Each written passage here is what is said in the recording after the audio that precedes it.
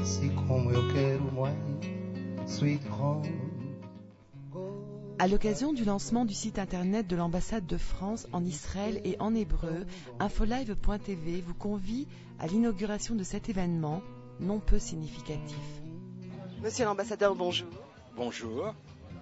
Merci de bien vouloir accueillir euh, infolive.tv ici euh, dans votre résidence euh, en plein cœur de Yafo. Nous sommes ici pour le lancement du nouveau site internet version hébraïque. Pouvez-vous nous en dire plus? À l'origine, le, ministère des Affaires étrangères fournit des, formats de sites internet qui sont des formats très institutionnels. Et donc ensuite, nous avons voulu les moderniser. Nous avons modernisé il y a un an le site en français. Et déjà en six mois, là, les accès ont été multipliés par deux. Euh, et maintenant, nous passons au site hébraïque, c'est-à-dire nous voulons faire un site de jeunes euh, qui soit user-friendly, c'est-à-dire qui soit pratique pour ceux qui veulent l'utiliser, et qui soit un peu à l'image à la fois de, la France et, d'Israël. C'est un site pour le moment, euh, pour vos, vos auditeurs l'ont peut-être essayé de l'atteindre, qui est assez institutionnel, un peu trop officiel, et donc il faut le rendre un peu plus sexy. Renaud Ferrand, bonjour. Vous êtes le porte-parole de l'ambassade de France. Euh, pouvez-vous nous expliquer un peu ce qui se passe avec ce site, la rénovation, le lancement du nouveau site internet euh, en hébreu?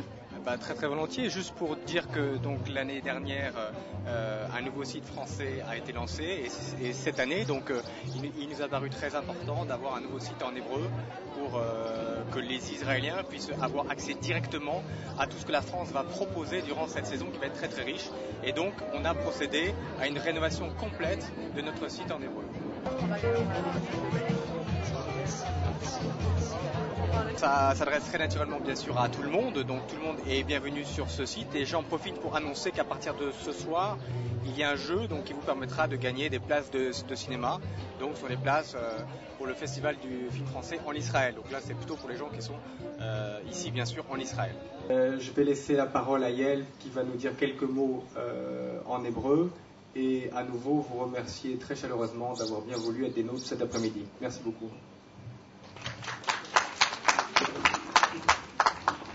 שלום, שלום לכולכם, רק רצינו להודות לכם שבאתם כל כך רבים ולבשר לכם בעצם על לידתו של האתר החדש של השגרירות בעברית.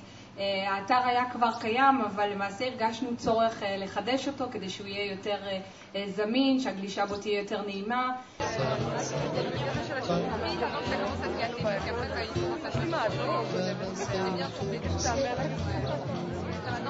Charles Isrian, bonjour.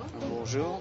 Vous êtes le directeur du festival du film israélien en France, en Suisse, et bientôt à travers le monde, en tout cas nous l'espérons.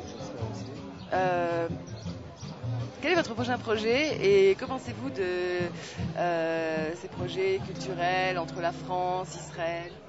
Bah, euh, Je ne pense que du bien, ça peut être que, positif.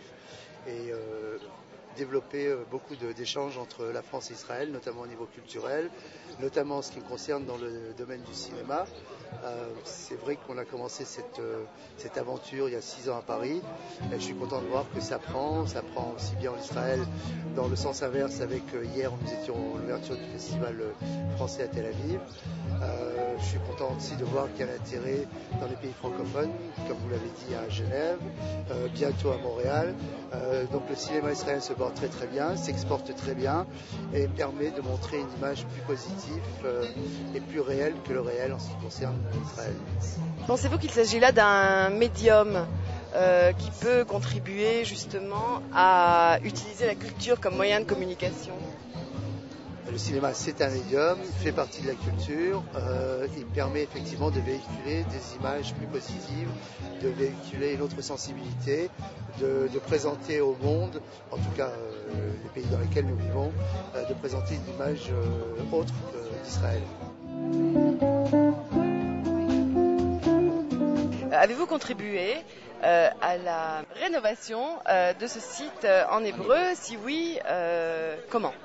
Alors, bon, ce site est, un site euh, qui a été, euh, c'est un site en bilingue. Hein.